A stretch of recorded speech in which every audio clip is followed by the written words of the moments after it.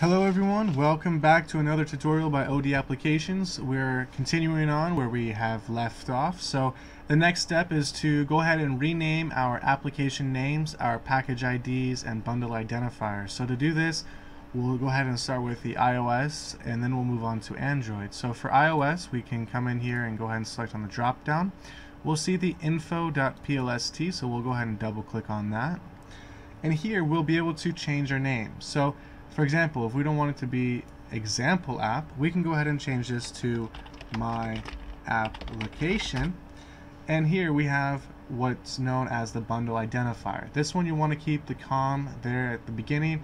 You want to put something like your company name and then the app name afterwards. So that way it's kind of a standard format for other people to take a look at. You have traditional com, org, something of that nature, maybe even app, and then dot your company name and then dot the actual application name. So here we'll just put in my app. And again, you want to make sure that these are either um, lowercase or with no spacing. Now keep in mind of the version and build number, each of these will need to incrementally increase as you release updates. So if you have a new update, you've already published your app and now you're going to do a new update, what you'll do is you'll make this one, for example, instead of a 1, you'll make it a 2, or you can change these other ones, these other numbers here, instead of a 0, make them a 1, or so on and so forth. Again, you'll want to make sure that every build number just incrementally goes up from here, so it'll be 1, 2, 3, 4, 5, so on and so forth for every single update that you release. But since we haven't published this app, we'll go ahead and make it a 1, so that way it's all version 1, all build 1, and then as we release updates, it'll be version 2, build 2, so on and so forth. I'm sure you guys understand.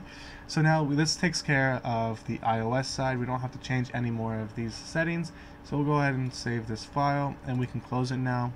Moving on to Android, we'll go ahead to the ODAppsView.android folder, click the drop down, or Alternatively, we'll just select on properties and here we'll be able to change the application name. So here we have test app and continuing on keeping the same structure, we'll just call this my application. Again, we have uh, the package name, so this will be com.odapplications.myapp. Again, because we want to make sure that both of these are consistent, for both Android and iOS as we're developing them. Again, we'll see here version number and version name. This is pretty identical to what we're doing with iOS. So again, if we want to have our version number differently, we can always go something like this and also have this as the build or version name. And so we can simply click on save.